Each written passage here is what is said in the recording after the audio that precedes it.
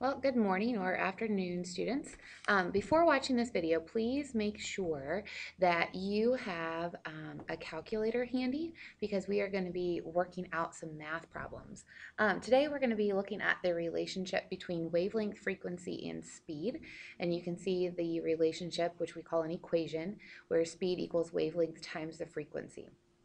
Now, before we dive in, let's get a little bit of background on our units. When you hear the word wave length, because it's a length, length is usually measured in meters, and so we're going to use meters for that.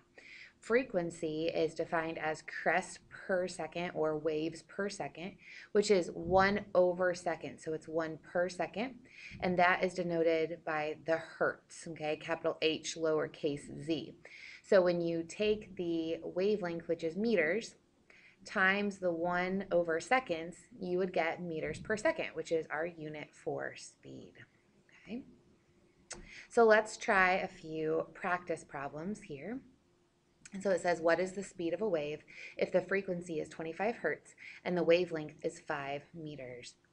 So again, if we do the short version, the abbreviated version, speed equals the wavelength, which we denote as a lambda, which is a Latin symbol, times the frequency, where the wavelength is 25 hertz and the wavelength is 5 meters. So when you take 25 times 5, you get 125. And because this is a speed, this is going to be meters per second. Now, I want you guys to go ahead and pause the video for a second because I want you to try example problem number two by yourself. And then once you finish problem number two, I'll, then you can play the video again and I'll show you guys the answer. Okay, so let's see how well you did. So we know that speed equals the wavelength times the frequency. And it says here that the wavelength is 2 and that the frequency is 17. So 17 times 2 is 34 and speed is measured in meters per second. So if you got 34 meters per second, give yourself a pat on the back. If not, you might want to go back and look at the first one again. All right, now here, when we read this problem, it says, what is the frequency? So here we're actually solving for a different piece of the puzzle. So we know that if speed equals wavelength times frequency, and that we are trying to solve for the frequency, we have to divide both sides by the wavelength. Wavelength over wavelength cancels. So we know that the frequency of our wave is going to be the speed divided by the wavelength.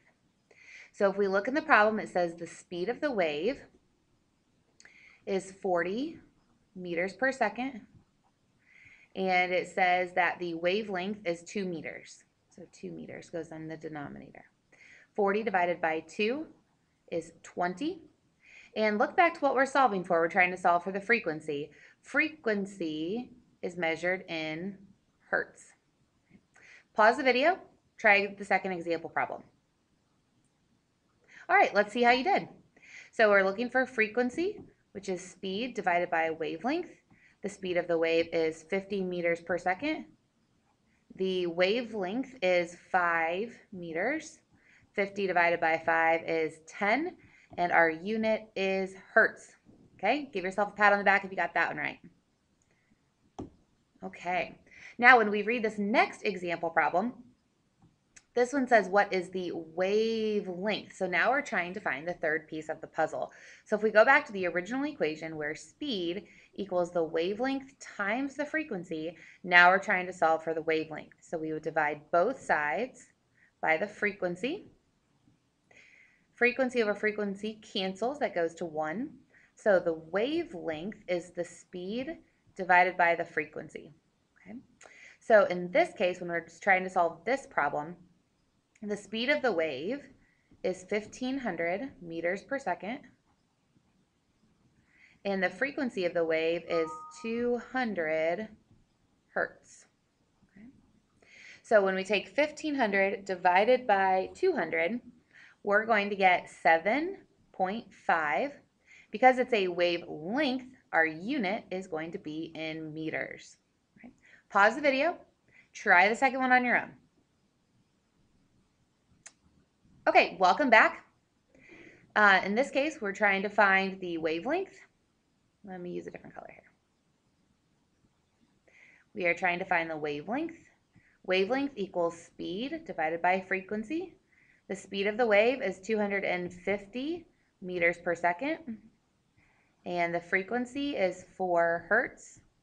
250 divided by 4 is actually 62.5. And in this case, because it is a wavelength, we get meters. All right, if you didn't miss any, give yourself a pat on the back. If you missed one or two, um, why don't you go back and watch the example problems and then try the practice problems again. Okay, thank you.